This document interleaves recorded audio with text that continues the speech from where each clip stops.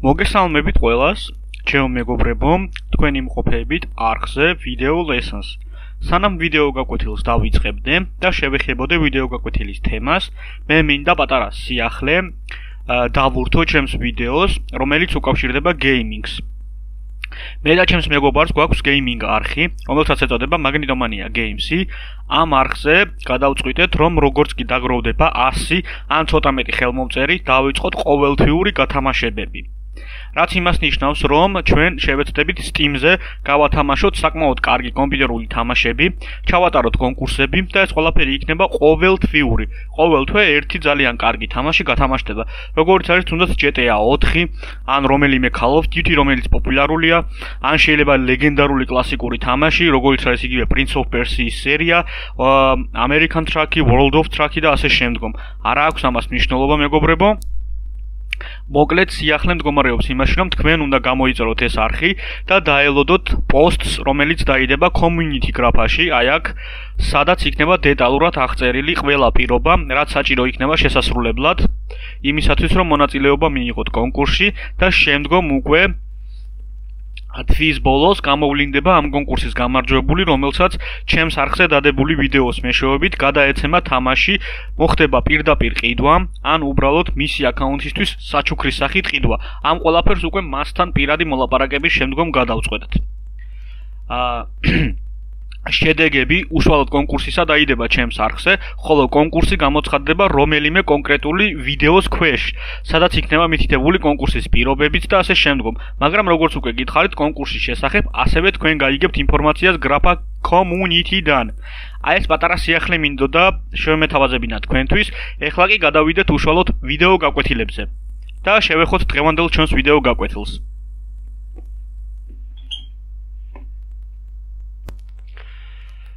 როგორც უკვე დაგპირდით მეგობრებო, დღევანდელ ვიდეო გაკვეთილში მე მინდა შევეხო ტოპაზი ფოტო AI-ის პროგრამას და გასწავლოთ ამ პროგრამის მეშვეობით ფოტოს გაუმჯობესება. რა თქმა უნდა, პირველი ვიდეო გაკვეთილი ეს იქნება ეგრეთ წოდებული ზედაპირული მიმოხილვა, რომლის მეშვეობითაც მე თქვენ გასწავლით თუ როგორ ხდება ზოგადად ამ პროგრამის მიხედვით ფოტოს დამუშავება.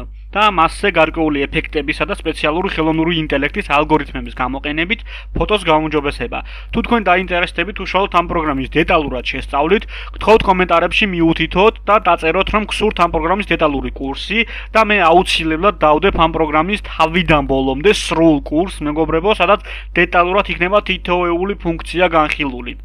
პირველ რიგში კი მოდით ნახოთ ორიგინალი ფოტო, რომლის გაუმჯობესებასაც ვაპირებ მე ხლა ამ შესანიშნავი პროგრამით. ეს არის მადაგასკარის ფოტო, რომლის ზომაც კი ძალიან პატარაა, პლუს ამას ხარისხს თუ გავადიდებთ, ნახავთ მეგობრებო, რომ ძალიან ცუდი ხარისხის არის.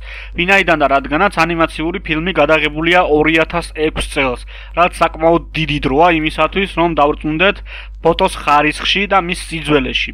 გავხსნათ პროგრამა.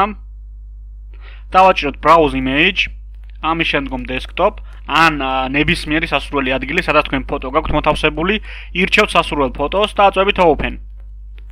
ამის შემდგომ ელოდებით უბრალოდ რამოდენიმე წამი ფოტოს სკანირებას. რათა მოხდეს სრული პარამეტრებით მისი სკანირება. ამის შემდგომ ვაწვევით გრაფას remove noise, მოვაშოროთ ხმაური. და აი აქ მეგობრებო უკვე ჩვენ თვალნათლივ შეგვიძლია დავაპატარავოთ ფოტო, დაველოდოთ რამოდენიმე წამი, სადა სანამ ხელოვნური ინტელექტი მოახდენს ფოტოს ხარისხის გაუმჯობესებას და ამას ჩვენ თვალს ვადევნებთ ქვედა მარცხენა კუთხეში. ეს არის როგორც უკვე გითხარით ზედაპირული მიმოხილვა. აქ მე არ განვიხილავ პარამეტრების შეერჩევას, გასწორებას და ასე შემდგომ. შევადაროთ ახლა ეს ორი ფოტო და აქედანაც კი ჩანს მეგობრებო ფოტოს გაუმჯობესების ხარისხი. შემდგომ ვაწვევით save image ირჩევთ სასურველ ადგილს ან original folder და შემდგომ მირჩევთ ფოტოს ხარისხს. მაგალითად მე ვირჩევ GPGs. ამის შემდგომ 100%-იან ხარისხს და save. ველოდები სულ რაღაც რამოდენიმე წამი.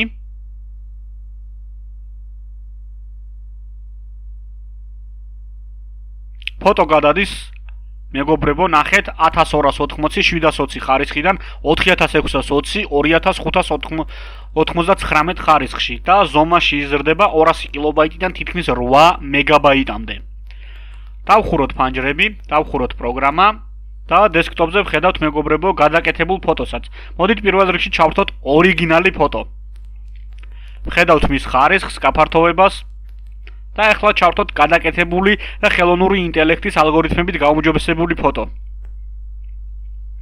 თქვენ თვითონ ხედავთ მეგობრებო თვალნათელ მაგალითს თუ როგორ მოახერხა ძალიან მარტივად ამ შესანიშნავმა პროგრამამ ფოტოს გაუმჯობესება ხარისხში ისე რომ ფოტოზე არანაირი სერიოზული ზიანი არ არის მიყენებული ყველაფერი დეტალურად არის გაუმჯობესებული რა თქმა უნდა პარამეტრები კიდევ უფრო რომ გადამეთამაშებინა შეიძლებოდა რომ აი ეს მცირედი ხარვეზები რომელიც ეხლა აღიკვეთება იგივე თვალებზე კბილებზე მაგალითად არ ყოფილიყო და ამას უკვე მე თქვენ შემოგთავაზებთ თუ რა თქმა უნდა იქნება თქვენი მხრიდან დაინტერესება სრულ ვიდეო გაკვეთილის კურსში არ მაქვს არანაირი პრობლემა, მეგობრებო, შემიძლია შემოგთავაზოთ, უბრალოდ უნდა ვიცოდე, არის თუ არა თქვენი მხრიდან ამ კონკრეტული პროგრამის სრული და დეტალური განხილვის მიმართ ინტერესი.